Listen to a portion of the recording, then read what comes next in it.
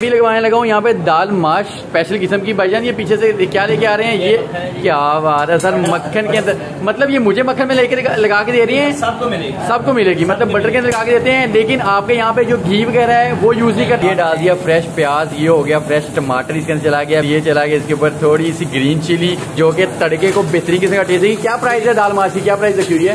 दो सौ पचास रूपए। इससे कम खाना चाहिए उसके लिए वन फिफ्टी मतलब हाफ़ प्लेट वन फिफ्टी में आपको मिल जाएगी। तड़का लगा के। ऐसे मिलेगी। ज़बरदस्त वन फिफ्टी में आपको एक तड़का लगा के बेहतरीन किस्म की इसी जो इसकी इसी के अंदर सर्व करेंगे। ये जो। कढ़ाई बनाई हुई है। ज़बरदस्त। ये क्या करने लगे ले सर ये आती है दाल ये माश है। ये सर चलेगी हाफ़ प्लेट दाल माश के लिए। आते इसके ऊपर चला गया कोरिएंडर जिसको हम धनिया कहते हैं। ब्लैक पेपर अभी अभी भाई सारे मतलब ये बाकी चीज़ें ज़्यादा स्पाइसेस गरम मसाले वगैरह इस्तेमाल नहीं करते। ज़बरदस्त ज़बरदस्त खूबसूरत किस्म का यार लग रहा है। भाई अभी इसके ऊपर आ गया जो फ्रेशली कटा हुआ है भाई ने अदरक डाल दिया है। स्पेशल क्रीम ईरान से आती है। ओए होए भाई ने कहा स्पेशल क्रीम ईरान से मंगवाते हैं वो इसके ऊपर लगाते हैं। आलू कीमा लगा रहे हैं। ले सर आज आपको तड़के वाला मतलब जो बिल्कुल अच्छे से फ्रेशली ऑलमोस्ट पहले जो बना के रखा होता है वो प्रॉपर बना नहीं होता है या तड़का लगाना रहता है इसके अंदर? तड़का लगाना होता है। केटू होटल मुझे रिकमेंडेशन आई थी तकरीबन 35 साल से पिछले यहाँ पे बेहतरीन किस्म की रनिंग कर रहे हैं। इसका भाई ने इसके अंदर प्याज डाल दिया, मिर्ची डाल दी, टमाटर डाल दिया। अब इसके अंदर जो हमारा कीमा है, वो इसके अंदर जाएगा, इसको तड़का छड़का लगा के उस साइड से लेके जाएँगे। हम डालेंगे इसके अंदर कीमा। क्या बात है क्या है। ये चलेगी कीमे की प्लेट तरह मुझे प्राइस रहेगा, कितनी, क्या प्राइस है इसकी कीमे की फ्राई करके? तीन सौ रुपए की फुल प्लेट मिलेगी। हाफ़ लेना चाहें तो कितने की मिलेगी? दो सौ रुपए की फ्राई वाली हाफ़ आप लोग मिल जाएगी। क्या डाला, धनिया डाल दिए? धनिया डाल दिए, इसके ऊपर वो अदरक वगैरह डालेंगे कि नहीं? ये भाई डाल इसके अंदर ब्लैक पेपर अगर कोई कम मसाले वगैरह खाना चाह रहा है तो उसको उसको कम भी करके दे सकते हैं। ये सिर्फ़ गार्निशिंग के लिए क्रीम डाली जा रही है ताकि देखने में खूबसूरती भी आए और मज़ा भी आए। ये भाई लेके जा रहे हैं। अगर आप लोग कभी चाहेंगे यार दाल का टेस्ट कैसे ट्राई करना है अथेंटिक दाल का टेस्ट तो आप सिंपल एक चम्मच उसका बिल्कुल रोटी बगैर ले सकते हैं। आप लोगों को प्रॉपर पता लगे कि दाल के अंदर से एक्चुअल टेस्ट निकल पा रहा है नहीं निकल पा रहा। कम्प्लीटली फ्लेवरफुल दाल है यार। बिल्कुल मसालों का ज़्यादा है एक्सेस ऑफ़ मसाला वगैरह नहीं है। ना गर्म मसाले का मुझे कोई टेस्ट आ रहा है, बस ऊपर से जस्ट काली मिर्च डाली गई है ऊपर जो क्रीम डाली है, बिल्कुल सा टेस्ट दे रही है।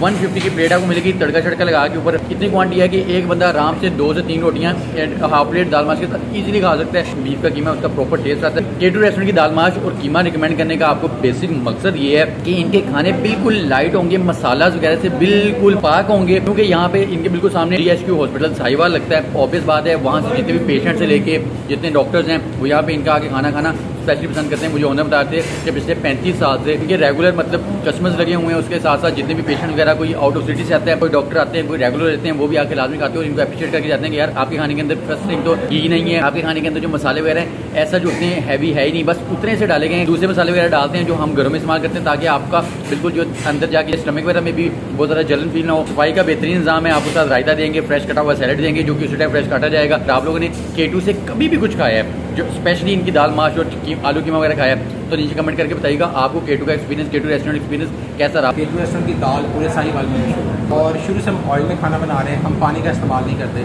खाने में हम रेड मिर्च का इस्तेमाल भी नहीं करते। रेड मिर्च का इस्तेमाल नहीं करते आप? देखना है वो आगे देख भी सकता है। हमने सिर्फ़ हाफ़ साल में तैयार किया होता है ताकि कस्टमर की डिमांड है उसने जितना स्पाइसी खाना है लाइट खाना है उसने मतलब कस्टमर अपने लिहाज से बता दे आगे। अपनी लोकेशन बताइएगा कहाँ पे लोकेशन है आपकी? D H Q teaching hospital के बिल्कुल सामने गेट नंबर एक के साथ गेट गेट नंबर वन के साथ D H Q hospital Sahiwal के बिल्कुल सामने लगेगा।